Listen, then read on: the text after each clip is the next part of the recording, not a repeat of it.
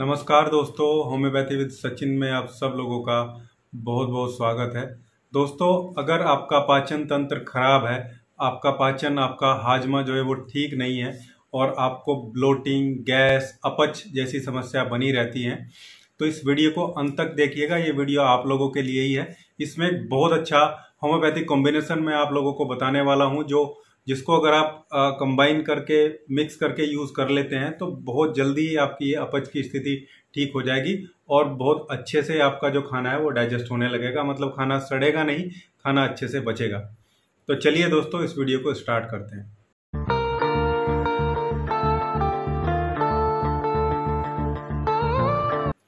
दोस्तों, खाना खाना जितना ज़रूरी है या आप क्या खा रहे हैं वो जितना ज़रूरी है उतना ही ज़रूरी ये भी है कि आपने अपना खाना कैसे खाया है, खाना कब खाया है और खाना खाने के बाद आपकी एक्टिविटी क्या रही है। अपच इंडाइजेशन में ये चीज़ भी बहुत इंपॉर्टेंट रोल प्ले करती है। सबसे पहले तो मैं आपको समझाता हूँ कि जो हमारा पूरा पाचन को समझना है और पूरा इफ़ेक्ट देखना है तो आपको एक पूरा एलिमेंट्री कैनाल अपना जो है वो समझना होगा। जो मुँह से लेके स्टार्ट होता है और नीचे जो एनस की ओपनिंग होती है, जहाँ से हम स्टूल पास करते हैं, वहाँ पे जाके एंड होता है। ये पूरा पाइप होता है जो अलग अलग शेप में चेंज होता रहता है। मुँह से स्टार्ट होता है, फिर गला, फिर एसोफेगस अपना, ये फ़ूड पाइप फिर नीचे पेट आता है स्टमक का पाउच आता है। स्टमक के पाउच से छोटी आंत स्टार्ट हो जाती है। छोटी आंत के दो तीन हिस्से होते हैं डिओडेनम होता है डिओजनम होता है इलियम होता है, जो लास्ट में पूरा कन्वर्ट होके बड़ी आंत में मिल जाती है।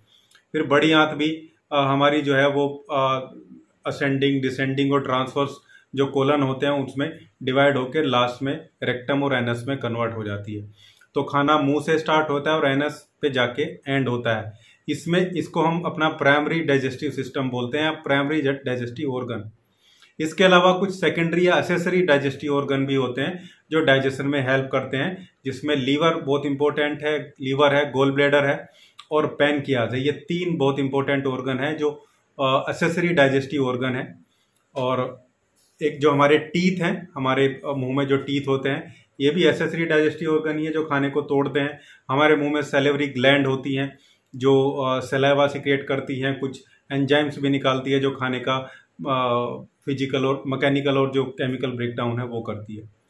तो खाना जो हम खा रहे हैं, वो यहीं से स्टार्ट हो जाता है। इसलिए मैंने बताया कि खाना कैसे खाया वो भी बहुत ज़रूरी है। जब आप खाना खा रहे हैं तो खाने में भगवान ने जो दांत दिए हैं वो उसको break down physically break down करने के लिए दिए। यहाँ मुँह में सलाइवा और दांत के थ्रू खाना उतने छोटे टुकड़ों में उतने छोटे आ, या उतने बरीक पेस्ट में कन्वर्ट हो, जा, हो जाना चाहिए जो पेट में फिर हमारे एंजाइम और एसिड बनता है वो उसको आराम से डाइजेस्ट कर सके आराम से उसका ब्रेक डाउन कर सके और जो कन्वर्जन है अलग फैट का कन्वर्जन होता है और प्रोटीन का कन्वर्जन होता है कार्बोहाइड्रेट का कन्वर्जन होता है, वो कन्वर्जन ईजिली हो जाए और खाना फिर स्मॉल इंटेस्टाइन में चला जाए। स्मॉल इंटेस्टाइन में फिर जितना बारीक खाना जाएगा, वो उससे एब्जॉर्प्शन उतना जल्दी होगा।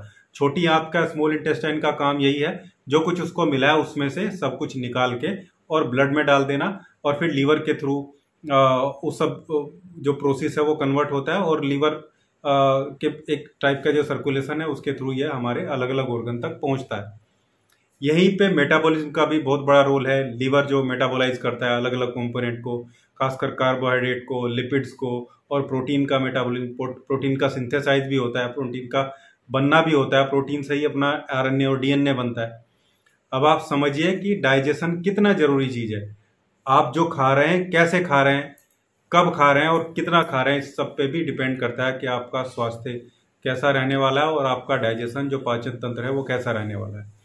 तो इन चीज़ों का ध्यान रखेंगे, सबसे पहले खाना अच्छे से चबाएँगे उसके बाद फिर आपको बहुत सारे बेनिफिट देखने को मिलेंगे और खाना खाने के बाद, कभी भी खाना खाने के बाद एकदम से शरीर को बैंड नहीं करना है, थोड़ा, थोड़ी देर, दस पंद्रह बीस मिनट भी आप सीधे रहेंगे या चलेंगे थोड़ी देर तो उससे प्री डाइजेशन में इम्प्रूवमेंट होता है, क्योंकि खाना ऊपर नहीं आता स्टमक में रह जाता है, वहाँ उसका जो पूरा डाइजेशन प्रोसेस है, वो अच्छे से हो पाता है।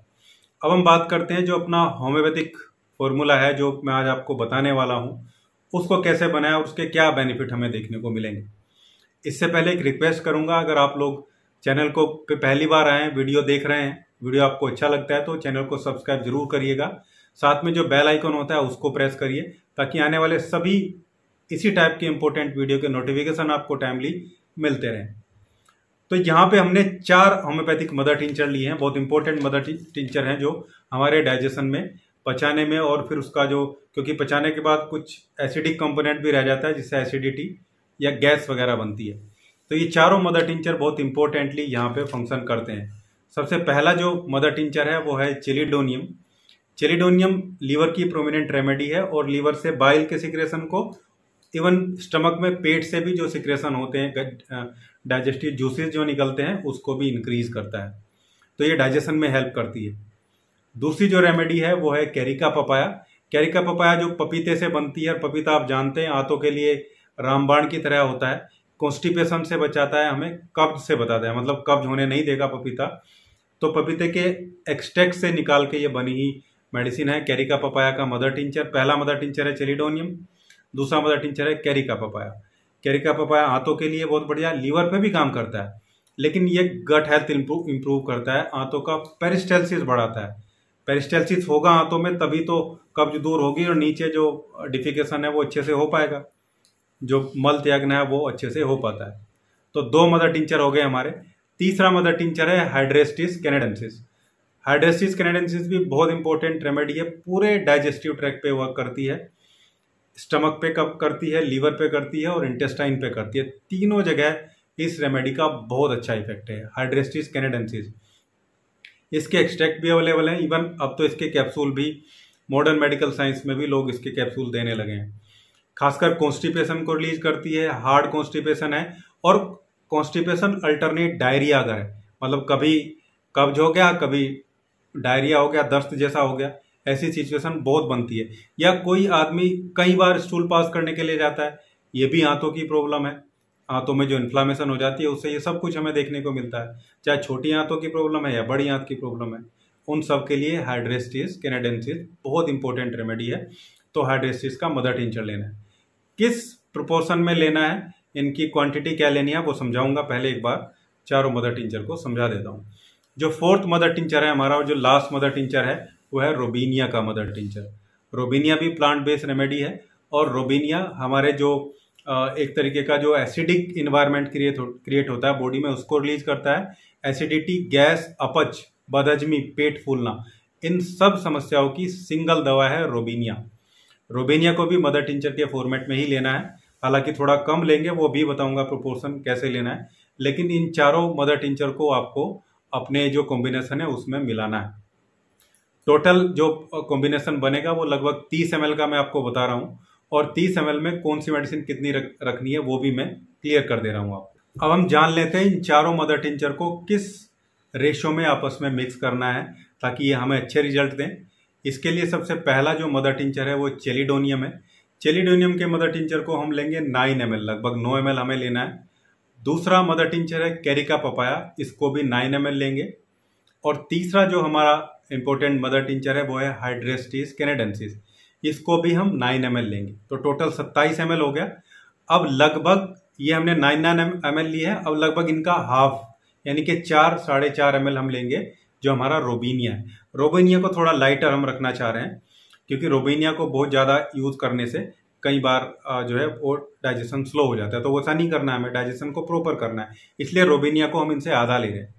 तो रोबीनिया को हमने फिफ्टी परसेंट लिया। तो टोटल हमारा थर्टी वन एम के आसपास थर्टी टू एम के आसपास हो गया। इस पूरे के पूरे सॉल्यूशन को मिक्स करके अच्छे से आप, आपको रख लेना है। अब दूसरा इंपॉर्टेंट चीज़ आती है कि इसको यूज़ कैसे करना है। यूज़ करने का सबसे बढ़िया तरीका है, जब भी आप खाना खा रहे हैं, खाना खाने के या तो एक घंटे बाद या एक घंटे पहले। चाहे तो खाना खाने के एक घंटा पहले या खाना खाने के एक घंटा बाद। जिनको प्रॉब्लम इंडाइजेशन की है, जिनको अपच की समस्या ज़्यादा है यानी कि खाना पचने में ज़्यादा टाइम लगता है और अनडाइजेस्टेड फ़ूड मटेरियल निकलता है, वो खाना खाने के पहले इसको ले लें, बहुत अच्छा रहेगा। और जिनको गैस एसिडिटी की प्रॉब्लम ज़्यादा है, वो खाना खाने के बाद लें, ये बढ़िया तरीका है। लेकिन लेना कैसे है? एक कप पानी लेना है लगभग, गुनगुना पानी हो तो ज़्यादा अच्छा है। उसमें दस बूंदे इसकी ऐड कर लेनी है और उस एक कप को बहुत धीरे धीरे सिप सिप करके हमें पीना है। गुड गुड भर के पीना है। एक कप को पीने में भी लगभग एक मिनट हमें लगना चाहिए। इतना धीरे धीरे उसको पीना है। एक गुड पियेंगे मुँह में अच्छे से घुमाएँगे, पूरे सलेवाई के साथ मिक्स करेंगे, फिर अंदर ले जाएँगे। ऐसे एक कप को पीने में एक मिनट लगभग हमें लगाना चाहिए। ऐसे आपको इस मेडिसिन को लगभग तीन महीने यूज़ करना है। तीन महीने यूज़ करने के बाद आप देखेंगे आपकी पूरा का पूरा डाइजेशन एकदम से चेंज हो जाएगा। इंडाइजेशन अपच, बदहजमी, गैस, ये सब समस्याएँ धीरे धीरे क्लियर हो जाएँगी। कब्ज रहता है, आदतन कब्ज है, या कभी कब्ज, कभी दस्त मतलब कॉन्स्टिपेशन अल्टरनेट डायरिया ये सब सिचुएशन भी इससे क्लियर हो जाती है। तो ये था आज का वीडियो एक बहुत इंपॉर्टेंट डाइजेस्टिव कॉम्बिनेशन चार मदर टिंचर को लेके हम कैसे बना सकते हैं होम्योपैथी में। उम्मीद करता हूँ वीडियो आप लोगों को अच्छा लगा होगा।